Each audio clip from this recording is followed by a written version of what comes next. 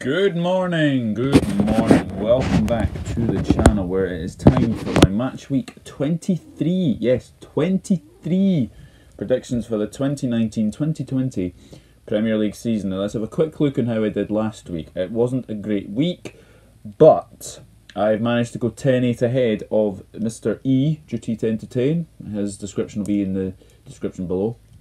Uh, so, the results were uh, Sheffield United West Ham, I went for a 2 1 win to Sheffield United, that finished 1 0. Crystal Palace against Arsenal, I went for a 2 2 draw, it finished 1 1. Chelsea Burnley, I went for a 2 1 win to Chelsea, that finished 3 0 to Chelsea. Um, Everton Brighton, I went for a 2 0 win to Everton, that finished 1 0. Uh, one of the shocks of the round for sure. Leicester City Southampton went for a 3 1 win to Leicester City, finished 2 1 to Southampton. So that was a big, big uh, shock there. Man United Norwich City, I went for a 3 1 win to Manchester United. That finished 4 0 to Manchester United. So a very, very much needed clean sheet for the, the Red Devils there. Wolves Newcastle went for a 2 0 win to Wolves. That finished 1 1. Uh, but how that finished 1 1, uh, I'll get into that game very, very shortly. Tottenham Liverpool, I went for a 2 0 win to Liverpool. It finished 1 0. Uh, Bournemouth Watford, I went for a 1 1 draw. It finished 3 0 to Watford in that game. That was an incredible uh, game, that one. And Aston Villa Man City, I went for a 3 1 win to Man City. I was three goals off a perfect score, 6 1 to Manchester City. So, uh, no perfect scores, but seven outcomes. So I'm pretty happy with that. But need to get need to try and get those those those wee perfect scores. Uh, but I'm 10-8 ahead because obviously uh, Mr. E got six outcomes, I got seven outcomes. So there we go. So the games we have, we have a London derby between Watford and Tottenham. That is 12.30 on Saturday. That is live on BT Sport. And then the three o'clock games, we have Arsenal Sheffield United. We have Brighton against Aston Villa, Manchester City against Crystal Palace, Norwich City against Bournemouth, uh, Southampton against Wolves, uh, West Ham against Everton, and then the 5.30 game, Newcastle against Chelsea, and then the two Super Sunday games Burnley against Leicester City, and the big one, my game of the weekend, and probably the biggest game still in English football Liverpool take on Manchester United at Anfield. Manchester United looking for a first win at Anfield since January 2016, where a certain Wayne Rooney scored the winner. And um, obviously, yes, Liverpool looking to remain unbeaten. So we have Watford against Tottenham, ladies and gents. And the last result, the last five between these sides have resulted in two wins to Spurs, two draws, and one win to Watford. And Watford, uh, the last meeting was a 2 1 win to Watford. Uh, but obviously, the previous fixture was a 1 1 draw. Uh, and actually, Watford could have won that game as well. Watford, how impressive have Watford been recently? Um, taken 13 points from the possible 15 in the last five games. Um, and to be honest, since the Liverpool defeat, they've been terrific. Really, really good, haven't they? Um, obviously, they have had, obviously, since the the Liverpool game, a 2 0 win against Manchester United, a 1 1 draw with Sheffield United, and then 2 0 against, uh, sorry, 2 1 against uh, Wolves, uh, 3 0 against Aston Villa, and then yes, and then on Sunday, 3 0 against Bournemouth. So a very, very good performance from Watford. And to be honest, Watford are looking very, very good, and especially up front now. Obviously, you've got Troy Deeney, you've got Ismaila, Ismaila Sarr as well. So they've definitely got a very good attacking threat, and defensively they, they were very, very good. Ben Foster continuing to impress as well in, in the Watford goal. You know, he, he, he looks like he's never been away uh, from Watford, and uh, he's make, made himself a home at Watford, hasn't he? So he's he's he's been excellent as well. So Watford are doing really really well under um, Nigel Pearson, and uh, it'll be an interesting game because they're coming up against a Spurs side who will be going away from the Liverpool game thinking how on earth did they not even get a point or even maybe three because that second half performance they were much much the better team yes liverpool dominated the first half uh, but that, that second half uh, you know spurs uh, had so many chances. I mean, I, I mean, Lo Celso, how he misses is unbelievable. Um, I don't understand how he missed that. Uh, goal gaping and he manages to put it wide. Son had a chance as well, blazed it over, and it just wasn't going to be, you know, Spurs' day. And obviously, the news that Harry Kane is now out until April is a big, big blow for Spurs. Uh, so, will they go into the transfer market? Well, there's obviously talk about Piatek coming in for Spurs. So, it'll be interesting to see for how Spurs line up in this game. Um, so, because Watford are on very, very good form, Tottenham are not on great form at all, I'm going to go for a win for the Hornets, the much improving Hornets. I think Watford will continue their very good form. And I'm going to go for a 2-1 win to Watford here. I just I think Watford could cause a wee upset here. I'm going for a 2-1 win to the Hornets here in this game. Arsenal against Sheffield United now, and the last five between these sides have resulted in two wins to Arsenal, two wins to Sheffield United, and one draw. And the last result was a 3 0 win to Arsenal, but obviously Sheffield United won the previous fixture 1 0 uh, earlier this season. Um, Now Arsenal, a very good point away from uh, against Crystal Palace. Um, probably should be all three though. They started really, really well at Palace. Um, totally dominated. Uh, but that second half, obviously, you know, Palace came back into it. Uh, you know, Aubameyang gets the goal, very, very good. But then he gets sent off. Now, obviously, the referee gave a yellow card to begin with. Um, and in all honesty, you know, I think probably looking again at the tackle, I don't think Aubameyang can have any complaints. Uh, but it looks like he's going to miss three games now, and uh, he's a big, big, potent threat up front for Arsenal. Uh, obviously, if he's not being played on the wing, that is.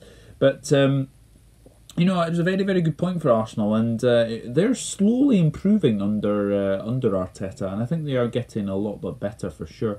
Uh, but they're coming up against a very impressive Sheffield United side, who again another very good win against West Ham, one 0 it was uh, obviously Ollie McBurnie scored. Uh, it was a goal made in Scotland, basically. Uh, John Fleck playing in Ollie McBurnie to um, to put the, side ahead. So um, very very good win, and uh, so you know Sheffield United are very very impressive as well. Uh, this is going to be a very tricky game, very tricky one to predict because obviously both sides are in good form. Arsenal, uh, you know, picking up a few results recently.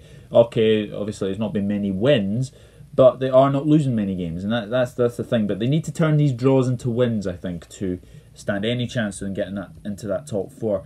So very very hard game to predict. I'm going to go for a narrow Arsenal win. I, I think it'll be a very very narrow win for me. I'm going for Arsenal one, Sheffield United nil. I think it'll be a very very tight game. I'm going for Arsenal one. Sheffield United nil in the game. Brighton against Aston Villa now, and there's only been uh, there's only been a couple of meetings in the top flight, um, in fact, and obviously uh, Aston Villa beat Brighton two one earlier in the season. Uh, but the last meeting at the Amex was a 1 1 draw. That, this came in the Championship way, way back. But they did meet in the League Cup, and Aston Villa ran out 3 1 winners uh, on that day as well at the Amex. So Aston Villa uh, looking to win again at the Amex. Um, Brighton has to be said against Everton. I mean, Everton won the game one 0 um, but they had their chances. They definitely had their chances in that game. And uh, you know, if it wasn't for Mat Ryan, you know, the score would have been a lot, lot better uh, for Everton. But Brighton are doing all right. Uh, Brighton are, are, are that team that they are doing very, very well. And it'll be very, very interesting to see how they do against Aston Villa because they are, they are coming up against an Aston Villa side who were totally outplayed, outfought, uh, battered, absolutely battered. 6 1 it was against Manchester City. And um, yeah, it wasn't great, let's put it that way. Uh, they definitely need a striker. Um, you know, obviously, Olivier Giroud and Batshuayi have been two names mentioned. I do believe, though, that apparently Christian Benteke has been offered to Aston Villa as well. So, would that be something that Villa would go for? Would they want to bring Benteke back when obviously he's not been in very, very good form? That's another question you would have to ask as well. Uh, but yeah, they definitely need bodies on do Villa. But they have got the experience of an experienced goalkeeper. Pepe Reina is back in the Premier League. He is back uh, in the Premier League and he has joined Aston Villa on a on a loan from uh, AC Milan until the end of the season. So he will probably come straight into the side to play Brighton. And I, to be honest, I think it's going to be a very, very hard game to, to call. Uh, obviously, Aston Villa, they're coming off the back of a 6 1 defeat to Man City. Uh, Brighton, oh, both of these sides coming off the back of defeats. Um, can't really separate them. I can't really separate them. I think I think it'll be a very, very close game. Uh, probably, um, probably a good game for this for the for the neutrals. I would say for this one. I'm going to go for Brighton one, Aston Villa one. So it'll be very very interesting to see how that that game will go. But I'm going for a one-one draw between Brighton and Aston Villa. Manchester City against Crystal Palace. Uh, the last five between these sides have resulted in three wins to Man City, one draw, and one went to Palace. And in fact, the last meeting at the Etihad was that famous 3 2 win to Crystal Palace uh, in the game. Um, so that was obviously the last Crystal Palace win. Obviously, Man City won 2 0 away at Selhurst Park earlier in the season. Crystal Palace getting a very good 1 1 draw with Arsenal. Um, Ayew, how many goals is he going to score this season? Uh, seems to be on absolute fire at the moment, just Jordan Ayew, and he's he's doing brilliantly. He is doing really really well. Um, Guaita again. I mean, my goodness me, this goalkeeper is uh, is just terrific for Crystal Palace. And um, you know, if you thought if you thought you couldn't replace Julian Speroni, well, Vicente Guaita. I think this is a goalkeeper that might be targeted by the big clubs. He's a very good goalkeeper, and um, he is only going to get better for uh, for sure. Uh, and um, has to be said, it's going to be a very, very interesting game because obviously Man City are coming off the back of a 6 1 win over Aston Villa. Um, terrific. Sergio Aguero, 12 hat tricks now in the Premier League. That's more than Alan Shearer, uh, which is excellent. Um, still a wee bit behind um, Shearer is Aguero, but if he can stay fit, then he'll probably be closer to that uh, that that goal record for sure. He's he's just terrific, and he's one of those players you would definitely want in your team uh, for sure. Kevin De Bruyne again, absolutely superb uh, for Man City, and you know the thing is, Man City are continuing to you know play very very well, and obviously you know they are 14 points behind Liverpool, but you know if they keep keep on winning, then all they have to do is to keep winning and just hope for a, a slip up from uh, from the runaway leaders, but. It's looking it's looking very very ominous. But having said that, Laporte seems to be coming back to fitness. Sané will probably be back as well. So if they can get their players back, then I think the clean sheets will start to come because, um, yeah, they did concede a very, very stupid penalty in the last minute against Aston Villa. But looking at this game, um, do I see any other upset for uh, since last season? No, I don't. I think Man City will be comfortable, comfortable for the citizens. I'm going for a 3-1 win to Manchester City in the game. Now, Norwich City against Bournemouth. Now, this is a big, big game because this is 20th versus 19th. Uh, and the last, there's only been three meetings between Norwich and Bournemouth in the Premier League era. And it's a win apiece and a draw. And the last result was a 3 1 win to Norwich City. Now, it's very, very interesting to see this, but Norwich City absolutely hammered at Old Trafford, uh, has to be said. Obviously, Pukki was missing. And this is the thing: they don't score goals if Pukki's not on the side. That's a, that's one thing I, I have noticed with this Norwich City side. If Pukki isn't there, then their goal threat obviously comes from Todd Cantwell as well. So that's a big worry for Norwich, and I think they have obviously strengthened as well. Um, there's a, there's obviously a couple of players coming in uh, for sure, but it'd be interesting to see how, how Norwich City do. But for me, they do look doomed at this moment in time. Um, but this is a big game because Bournemouth, they're coming up against a Bournemouth side who have really lost form really, really badly. Um, and like I said in my uh, Premier League reactions video, if, uh, obviously uh, I'll leave that in the description below for you to have a watch. Uh, time I've done my Premier League predictions for sure. Um, Bournemouth are one of those sides where they've been ravaged by injuries. I mean, I could probably name an 11 of Bournemouth's side that has been injured all season. I mean, Charlie Daniels has been injured all season. You've got Callum Wilson has been out. Josh King has been out. Lewis Cook has been out. Harry Wilson's been out. Uh, Ryan Fraser's been out. Adam Smith, uh, Simon Francis, Steve Cook, Aaron Ramsdale. You know, there's there's an eleven. There's an eleven for you. Jefferson Lerma as well. They've just had so many injuries, and once their players get back, I'm sure they'll be absolutely fine. Uh, Bournemouth. I don't think they'll go down in all honesty. I think it's a very, very hard job for Eddie Howe. And the thing is, like I said, I don't see Bournemouth getting rid of Eddie Howe at all. Um, and I think Bournemouth will go away to Norwich City. Um, obviously, Norwich City don't uh, every every game that they have been behind in, they have lost.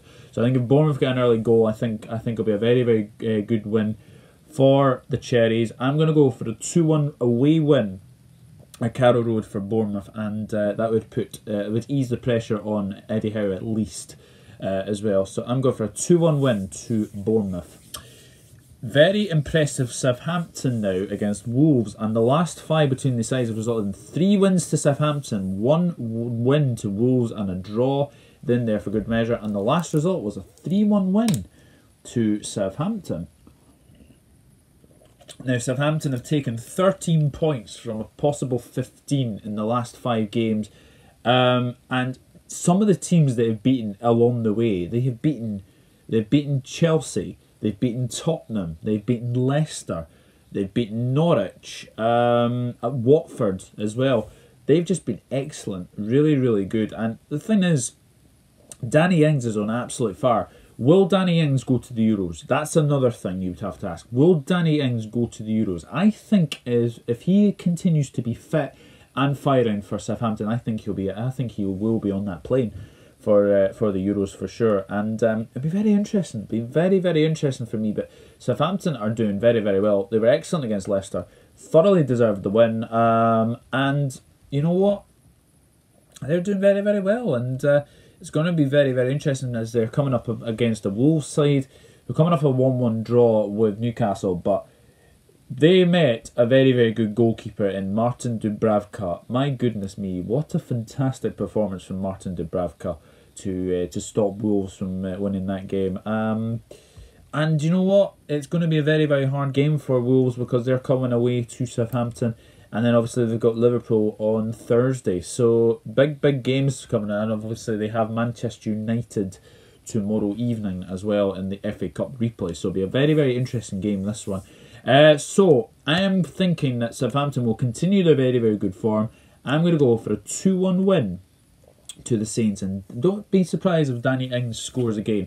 14 league goals this season is just phenomenal. Absolutely phenomenal for uh, for a very struggling Southampton side, but obviously they're not struggling right now, and uh, they could be easily top half this season if they continue winning, for sure. Southampton two, Wolves one. I'm going to go for. West Ham against Everton, and the last five between the sides have resulted in two wins to West Ham and three wins to Everton. Not many draws between these sides at all. And the last result was a 2 0 win to Everton in the game. Um, West Ham, dear oh dear oh dear. Um, sitting in 16th, and they've got a heck of a run of fixtures coming up. I think it's I think it's something like um, so. Obviously, they've got they've got Everton this week, Leicester City midweek, then Liverpool.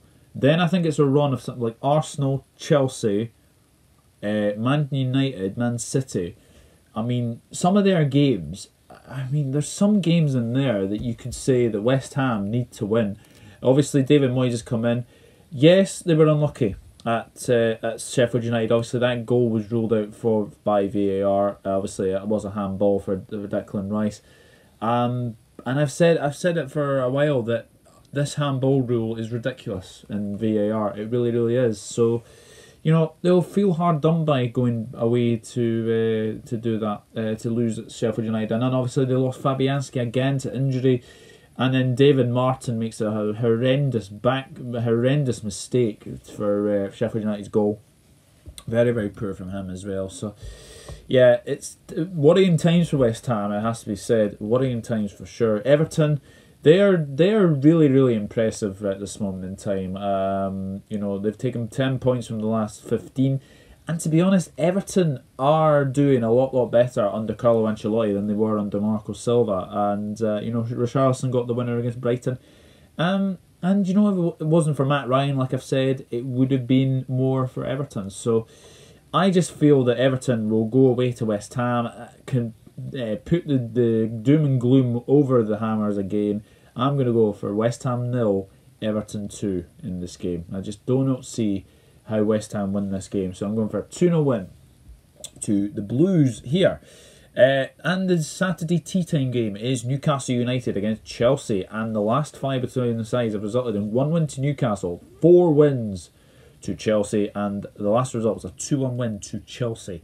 Newcastle United obviously getting a draw against Wolves. They took the lead in that game. Almiron, he when basically he has gone on a run of not scoring, they come like London buses. When you score one, another one will come around. So he has, I think he's scored now. Is it three or four goals in his last six appearances, or think of something? So yeah, he's doing well. He's doing well, Almiron. Um, but like I said earlier, Dubravka was absolutely impressive against Wolves, and it has to be said that uh, he's a very good goalkeeper as Dubravka. We've got so many good, good goalkeepers in the Premier League. Obviously, you've got Guaita at Crystal Palace, you've got Dubravka at Newcastle, you've got uh, Rui Patricio at, uh, at Wolves, Alisson at Liverpool, De Gea at Manchester United, Lloris at Tottenham.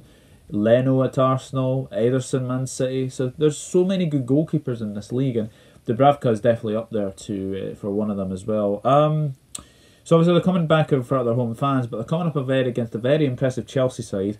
3 0 winners over Burnley, and um, it was a very, very good performance from uh, from Chelsea. And uh, obviously, uh, Hudson Odoi finally getting his first league goal for Chelsea, and that'll that'll take the the heat off him as well. So it's a good, good performance from Chelsea, and be very, very interesting to see how they do. I think against the Newcastle side, but going away to Newcastle, it'll be a hard game. But I fancy Chelsea. I fancy Chelsea because their away form recently has been very, very good. Okay, the only exceptions are obviously Man City, Man United, and Everton. Obviously, they've lost all uh, against all of them, but ever since then, their away form has been very, very good.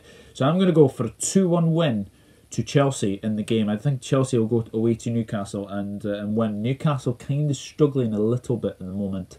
Um, so be very very interesting for sure. But uh, yeah, I'm going for a two-one win to Chelsea. Burnley against Leicester City. Now we're moving into, into the Sunday games, and the last five between Burnley and Leicester City have resulted in one win to Burnley, one draw, and three wins to Leicester City. And the last result was a two-one win to Leicester City in the game. Um, obviously last meeting at uh, Turf Moor as well.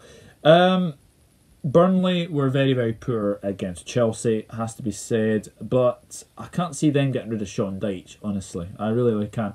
I know they are falling very, very rapidly, um, but the thing is with Burnley, I just think that, okay, I did have them 17th this season, but I do think they will survive because they do have a manager who knows about surviving in the Premier League, is Sean Dyche. So I think they will be okay. Um, but yeah, they'll definitely want to win games for sure, very very quickly, uh, because it's uh, you know if you keep losing games, it's a big big worry for them, and it's going to be very interesting to see how they do against the Leicester City side, who will be hurting from a two one defeat to uh, Southampton, and um, in all honesty, they were very poor in that game. Um, you know uh, obviously, my friend Anthony, who obviously is a Leicester City fan, he said to me that uh, you know Southampton did deserve to win in that game, and um, credit to him because obviously, like he obviously follows Leicester City home and away, and you know, you know when when Leicester City do struggle, then you know that is that's one of those things. But yeah, it was a good win for Southampton, very good win against uh, for Southampton away at away at Leicester City. So. Leicester City obviously coming in back. Uh, they're going away to Burnley, and Burnley really really struggle against Leicester City. So I'm going to go for a 2 0 win to Leicester City. I just think Leicester City will be way too strong for Burnley. Shall be very interesting for me, but Leicester City to win by two goals to nil. And it, and the last game, it's the game of the weekend. It is the biggest game in English football still. It is Liverpool against Manchester United. Looking forward to this one. This is half past four on Sunday, and the last five between Man United and uh, Liverpool and Man United have resulted in one win to Liverpool, three draws, and one win to Man United. and the last result was a 3 1 win to Liverpool at Anfield last season. Obviously, that was the result that got Jose Mourinho the sack as Manchester United manager. But obviously, the previous fixture between these sides was a 1 1 draw. Rashford scoring uh, for United and Lallana scoring for Liverpool in that game. Um, now, it has to be said, Liverpool, I very fortunate, very very fortunate to win at Tottenham. Uh, you know, if if your captain Jordan Henderson comes off the pitch and says to Jurgen Klopp that it's not good enough, it was. So yeah, you have to say that. Uh, it was a very very it was a gutsy performance. They really, really grinded it out, it has to be said, because Tottenham did come into that second half really, really better uh, as well. But This is the thing for Liverpool now. Fabinho, Lovren, Matip, Shaqiri are all back in training, so it looks like they could probably either make this game or they will probably make the Wolves game on uh, on Thursday. So um, yeah, Fabinho is one of those that is definitely in contention uh, for the game against uh, Manchester United, and it'll be interesting. It'll be very very interesting for sure. Obviously, Bobby Firmino scored in the scoring the winner for uh, for Liverpool at Tottenham. Can he score an Anfield goal this season? He's still not scored at Anfield this season, but. Um, and um, yeah, be interesting to see. But obviously, he has scored against Manchester United before, uh, but that was a Europa League tie, very very early um, early on 2015-2016 season that was. So it should be a very interesting game. Obviously, the Manchester United are coming off the back of a 4 0 win over uh, Norwich City, and it has to be said, Marcus Rashford, fantastic for him to get to 200 Manchester United appearances, 64 goals and 200 appearances for Manchester United. And the thing is, that's quicker than Cristiano Ronaldo. I think he got 59 in, in 200 appearances. Um, but it's he's only behind Wayne Rooney, who got 81 in 200 appearances. But Rashford is doing really, really well. 19 goals and 30 appearances this season is brilliant. It really, really is. Um, and to be honest, that was a much needed clean sheet for Manchester United. Brandon Williams still impressing at left back as well. You know, Manchester United are a very, very funny team because you never know which Manchester United is coming, uh, is is going to turn up. Uh, is it going to be the one that loses to Watford? Is it going to be the one that wins against Spurs and Manchester City? You just don't know. So this is a very, very hard game to call because they are always hard games to call, these ones, uh, especially with uh, Liverpool and Manchester United uh, as well. It'll be a hard game. It'll be a very, very hard game for, uh, for Liverpool. But I do think Liverpool will get the win, but I don't think it will be uh, but as comfortable as many people are actually predicting this weekend. Um, obviously, Jurgen Klopp has still not beaten Ole Gunnar Solskjaer. And obviously, Man United are the only team to have taken points off Liverpool this season, so they'll be they'll be confident going into this game. But looking ahead to the game, I'm going to go for Liverpool to continue their winning run. I'm going to go for Liverpool two, Manchester United one. I'm going to go for a two-one win to Liverpool. I just think it'll be a very very hard game, but I do think Liverpool will get the win. Liverpool two. Manchester United won. So that is it. That is match week 23 done and dusted. And I will go through my predictions very, very quickly as well. And you can join in as well if you would like to. Watford 2, Spurs 1.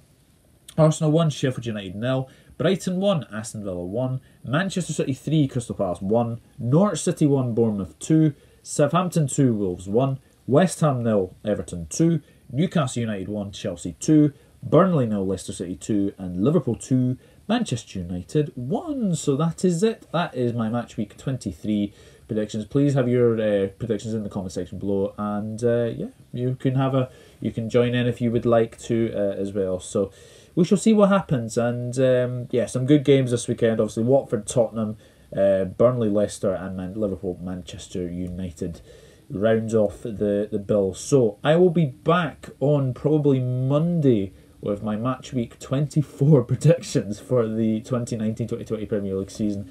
Going very, very quickly for sure uh, this season. It's going really, really quickly for sure. But uh, thank you very much for watching. And if you do like my content, then please hit that subscribe button. It'd be fantastic as well. Smash a like, leave a comment, smash a like on this video as well.